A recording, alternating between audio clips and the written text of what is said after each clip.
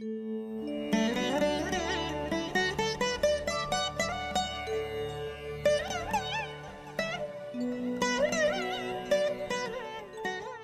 அனைவருக்கும் இனிய நல்வாழ்த்துக்கள். எல்லோரும் நன்றாக இருப்பீர்கள்.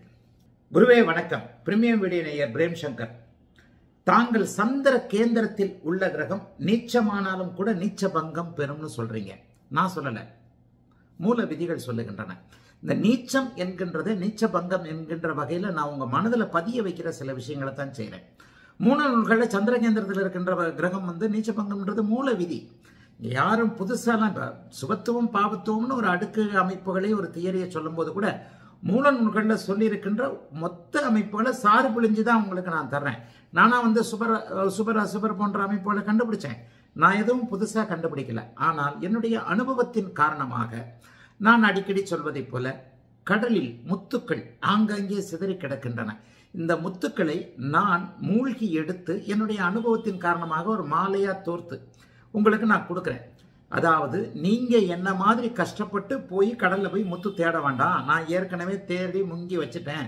கடற்கரைக்கும் கொண்டு வந்துட்டேன். இந்தாப்பா அப்படின்ற ஒரு சமாச்சாரம் தான் அந்த சுபத்துவம் பாவத்துவம். ஆகவே சந்திர கேந்திரத்தில் நீச்சபங்கம் பெறும் என்று கூறினீர்கள். மூல நூல்களில் நம்முடைய தெய்வாம்சம் பொருந்திய இந்த மகாபெரிய சாஸ்திரத்தை கண்டுபிடித்த ஞானிகள் சொல்லியிருக்கிறார்கள். சர்வ நிச்சயமாக அதெல்லாம் ஒருத்தரோ ரெண்டு பேருடைய சிந்தனை தொகுப்புன்னு சொல்லுவேன். சந்திர கேந்திரத்தில் இருக்கக்கூடிய கிரகங்கள்லாம் இப்படிப்பட்ட அமைப்பில் இருக்குன்னு கண்டுபிடிச்சவர்லாம் ஜோசியரே கிடையாது. கடவுளுக்கு சமமானவர். சரி. அப்படி என்றால் பௌர்ணமி சந்திரனுடைய கோணத்தில் உள்ள சுவர்கள் பௌர்ணமி சந்திரனுடைய கோணத்தில் உள்ள சுவர்கள் மற்றும் பாவர்கள் தங்களுடைய தசையில. பௌர்ணமி சந்திரனுடைய கோணத்தில் இருக்கக்கூடிய கிரகங்கள் பாவர்கள் தங்களுடைய தசையில எப்படி பலன் தருவாங்க? இதைத்தாங்க நான் சுபத்துவம் சுற்றுமோல்னு சொல்றேன்.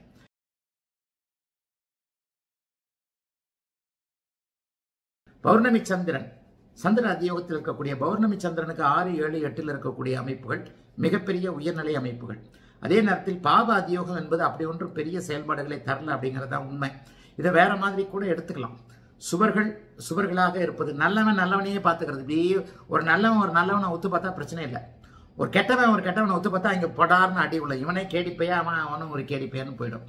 ஆக பாப அதியோகம் என்பது ஒரு நிலையில் நான் சொல்லுகின்ற பாப அதியோகத்தை நான் புரிந்து கொண்டிருக்கின்ற வகை வகையில் பலன்கள் நடக்கின்ற வகையில் என்னன்னா பாவ கிரகங்கள் தங்களுடைய கொடும் செயல்களை நடத்த முடியாமல் கைகளை கட்டி கொண்டு வைக்கின்ற ஒரு நிகழ்வு தான் அந்த பாப அதியோகம்.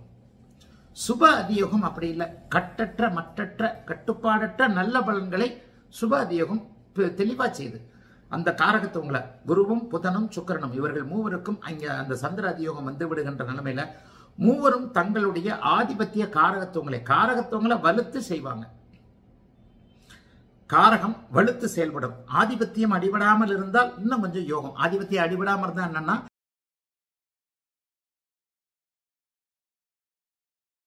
சரி இங்கே நீங்கள் கேட்ட கேள்வி எங்கே பொருந்துகிறது?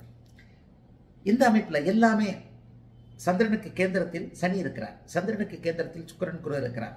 சந்திரனுக்கு கோணத்தில் ஒரு நிலையில் எட்டில் மறைந்திருக்கிறார்கள் சூரியன் புதன் செவ்வாய். ஆனால் லக்னத்துக்கு அவர்கள் வந்து ஒன்பதாம் இடத்துல இருக்கிறாங்க. பாருங்க மிக அருமையான யோக ஜாதகம்.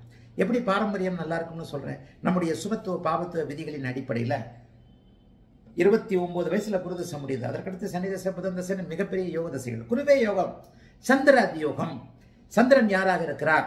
இந்த இடத்துல வைகாசி விசாகம் என்று நான் சொல்லக்கூடிய வைகாசி விசாகத்திற்கு இன்னும் என்ன என்ன என்ன இருக்கு? ஒரு நாள் இருக்கு. ஒரு நாள் கூட இல்லை. சுவாதி நட்சத்திரம். சுவாதி நட்சத்திரத்துக்கு அடுத்து அப்படியே விசாக நட்சத்திரத்துக்கு வந்துட்டாலே உங்களுக்கு சுவாதி ரெண்டுக்கு வந்துட்டார். சுவாதி ரெண்டுக்கு வந்துட்டாரு. அடுத்து அப்படியே பார்த்தீங்கன்னா வைகா அடுத்த நாள் வைகாசி விசாகம் என்கின்ற முழு நிறைவான பௌர்ணமிக்கு நேரே ஏழே ஏழில் வந்து குரு சுக்கரனும் இருக்கு இருக்குது. எட்டில் புதன் இருக்கக்கூடிய அருமையான யோக ஜாதகம். இந்த இடத்துல என்னதான் மைனஸ் எதுவுமே இல்லையா?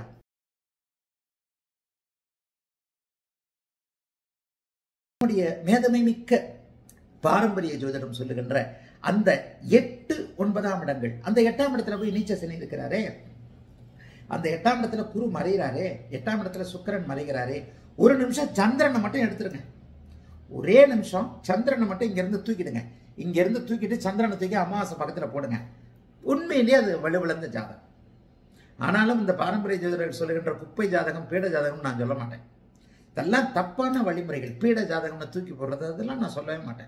அந்த ஒரு மாதிரியான அணுகுமுறை ஜோதிடர்கள்ட்ட இருக்கவே கூடாது. அமாவாசை அமைப்பில் பிறந்துட்டார். சந்திரன் இந்த மாதிரி ஒளி தத்துவத்தில் இல்லை. உண்மையிலேயே இது பலவீனமான ஜாதகம்.